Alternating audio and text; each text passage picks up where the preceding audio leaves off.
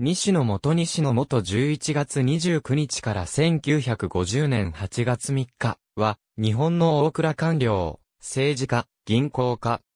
大蔵次官、貴族院議員、枢密顧問官。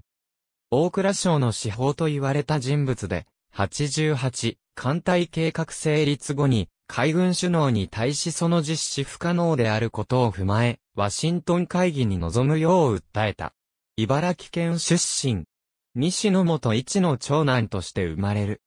水戸中学校、第一高等学校を経て、1902年7月、東京帝国大学法科大学政治学科を優等で卒業し、銀時計を授与された。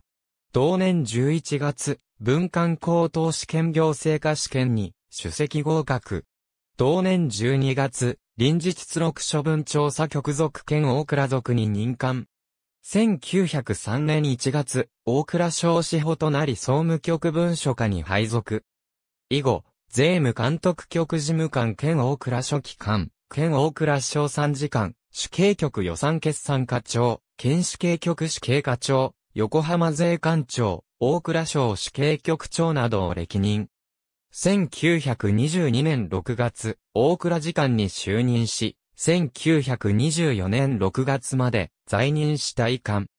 同年同月8日、貴族院直選議員に任じられ、研究会に属し1946年6月20日まで在任。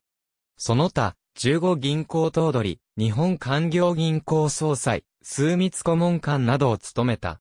ありがとうございます。